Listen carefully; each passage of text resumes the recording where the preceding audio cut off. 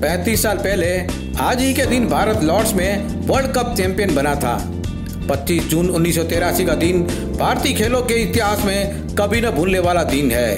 West Indies पर भारत ने final में 43 रनों से हैरत अंगेज जीत दर्ज कर पहली बार क्रिकेट वर्ल्ड कप पर कब्जा जमाया था।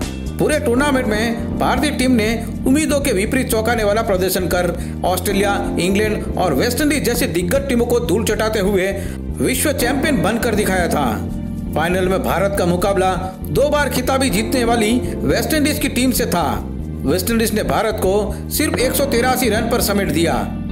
वेस्टइंडीज के लिए यह कोई बड़ा लक्ष्य नहीं था। लेकिन बलविंदर सिंह संधू ने गॉर्डन ग्रीनिज को सिर्फ़ एक रन पर बोल्ड कर भारत को ज़बरदस्त सफलता दिलाई।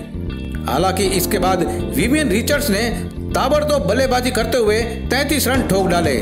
इसी दौरान रिचर्ड्स ने मदन लाल की गेंद पर अचानक मिड विकेट तरफ़ एक ऊँचा शॉट खेला और कपिल ने उसके पीछे की तरफ़ लंबी दौड़ लगाते हुए एक अद्भुत कैच लपक लिया। रिचर्ड्स का आउट होना था कि वेस्टइंडीज की पारी बिखर गई। और आखिरकार पूरी टीम 140 रन पर सिमट गई। मदन लाल ने 31 रन पर तीन विकेट, मोहिंदर अमरनाथ ने 12 रन पर तीन विकेट और संधू ने 32 रन पर दो विकेट लेकर लॉयड के धुरंधरों को ध्वस्त कर दिया था। अमरनाथ सेमीफाइनल के बाद फाइनल में भी अपने ऑलराउंडर प्रदर्शन में मैन ऑफ़ द मैच रहे।